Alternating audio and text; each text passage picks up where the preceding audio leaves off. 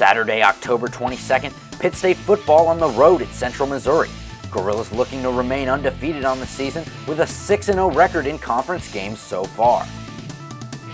Kicking things off early in the first quarter, after a pair of three and outs by each team, Gorillas have the ball. Zach Dickey hands it off up the middle to Bryson Wilson. Wilson turns on the speed. He's got a couple of mules in pursuit, but he's gonna go. Chase McCoy would tack on the extra point after the score, and Gorillas lead it 7 0 early in the game.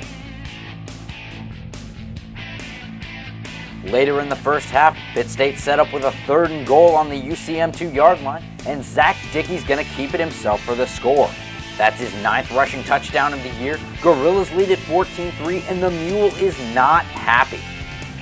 Still first half, Gorillas now up 17 3 after a Chase McCoy field goal, Zach Dickey connects with Eric Love out of the backfield. He's going to take it in for the score, and Gorillas lead it 24 3 heading into halftime. Third quarter score now 24 10. Gorillas backed up in their own territory, and Dickey finds his wideout John Thomas for a sensational 70-yard play.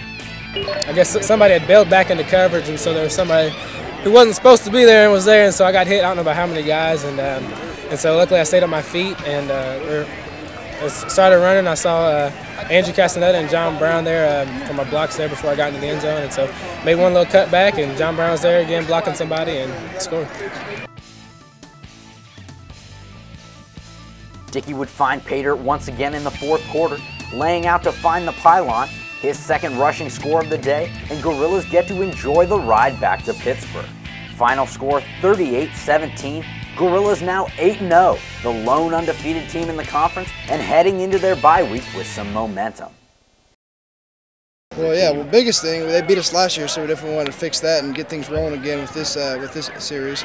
But uh, I thought we played well for the most part. And now we got a bye and then Washburn. That's going to be a huge game for us back home, and we're looking forward to it.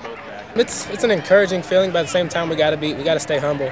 Uh, we got Washburn coming up in two weeks, and uh, they're a great team, and so we know that we got to we got to go to work, and uh, we got two weeks to prepare for them since we have, we have that bye week, and so like I said, we just got to stay humble, uh, stay hungry, and go after Washburn.